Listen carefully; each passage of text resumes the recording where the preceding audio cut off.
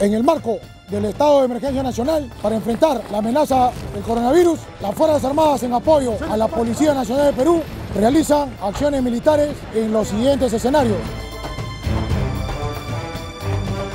Cuando una persona transita durante el aislamiento social obligatorio, las Fuerzas Armadas procederán a enunciar en forma enérgica tres veces la palabra alto.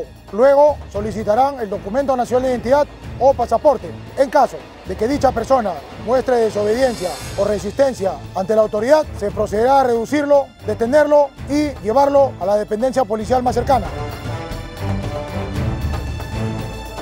Cuando un grupo de personas realizan actividades deportivas durante el aislamiento social obligatorio, las patrullas de las Fuerzas Armadas procederán a señalar que están atentando contra el estado de emergencia.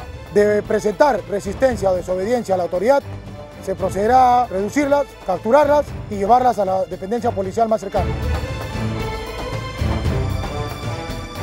Cuando las Fuerzas Armadas detecten que se esté llevando a cabo un evento social, procederán a señalar a los responsables que es un evento totalmente prohibido. Si dichas personas muestran desobediencia o resistencia ante la autoridad, se procederá a aplicar la fuerza en forma progresiva para reducirlos, detenerlos y llevarlos a la dependencia policial más cercana.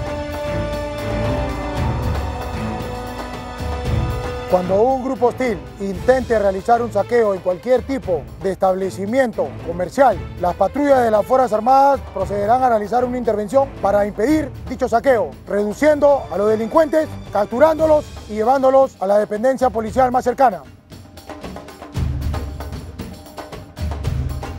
Cuando un grupo hostil intente atacar o ataque a miembros o patrullas de las Fuerzas Armadas con arma blanca o arma de fuego, las Fuerzas Armadas aplicarán el principio de legítima defensa, procediendo inicialmente a advertir el empleo de las armas, luego a emplear las armas en forma enérgica para evitar cualquier ataque. De ser necesario, se brindará la asistencia médica a cualquier herido o afectado.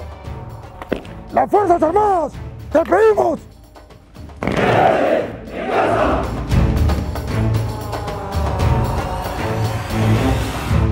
Gobierno del Perú. El Perú primero.